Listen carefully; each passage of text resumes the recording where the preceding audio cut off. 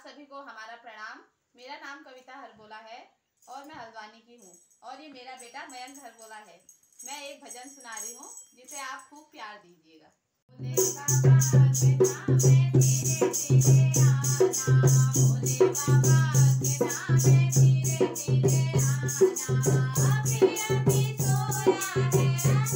Yeah.